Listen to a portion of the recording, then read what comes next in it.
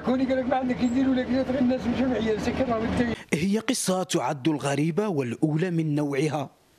أن يتم طرد مريض من مستشفى الأخوين شنافة بمدينة المشرية بالنعامة خويا زعكوني من السبيطار قال لي ما عندنا ما نديروا لك راه غير الجمعية مع ولدني دايني ما عنديش اللي يتكلم فيا.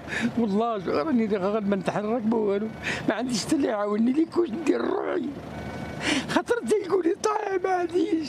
انت واش من رب العالمين يساعدوني سلطات وسبيطار ونا.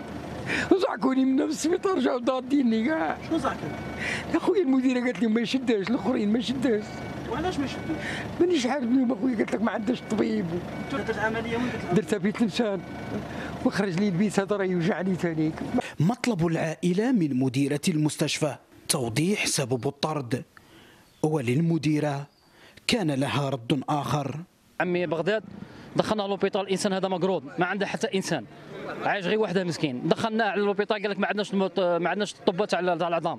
قال لك ما عندنا ما نديروا له خرجوه. كيفاش أنا نخرجه؟ كيفاش أنا نجيبه حتى l'hôpital تقول لي خرجه؟ أنفي جملة وتفصيلا التصريحات المسجلة من طرف المريض.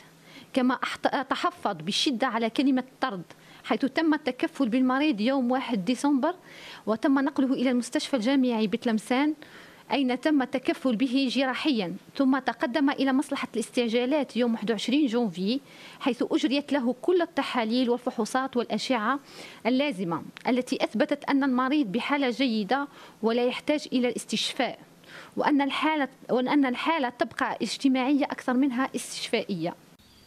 من يمتلك الصحة يمتلك الأمل ومن يمتلك الأمل يمتلك كل شيء. فأصبح هم المريض أغا هو الحماية وطبيب خاص